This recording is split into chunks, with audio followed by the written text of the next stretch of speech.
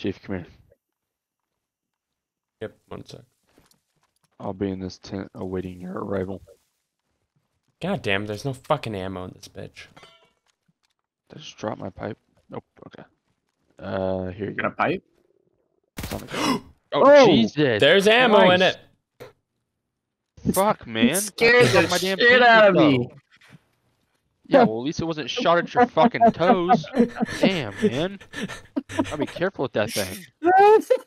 That is a kill miracle I didn't murder you. What were you trying to give me? The fucking ammo. Uh, now I'm a little on the- fucking concerned to give it to you.